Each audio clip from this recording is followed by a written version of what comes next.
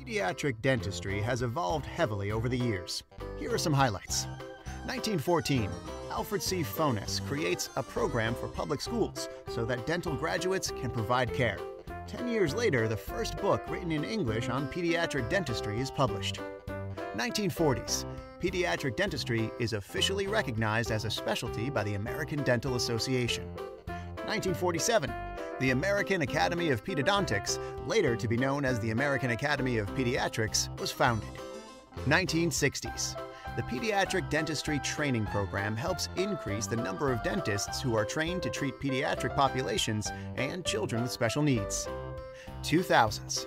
The concept of establishing comprehensive oral health care before the age of one, or dental home, is endorsed by the American Dental Association. Knowing the history can help you understand the importance of pediatric dentistry. Need a pediatric dentist? Contact City Dental Kids and Braces today.